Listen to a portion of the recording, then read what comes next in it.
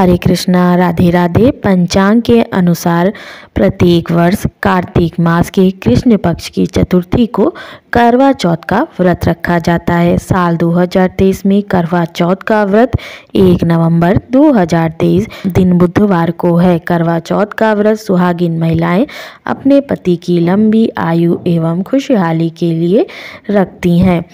साल 2023 में करवा चौथ पूजन का शुभ मुहूर्त रहेगा। एक नवंबर को शाम को पाँच बजकर छत्तीस मिनट से शाम को छः बजकर चौवन मिनट तक पूजन की कुल अवधि एक घंटा अट्ठारह मिनट की होगी। करवा चौथ का व्रत एक नवंबर को सुबह छः बजकर तैंतीस मिनट से प्रारंभ होगा और रात आठ बजकर पंद्रह मिनट तक किया जाएगा।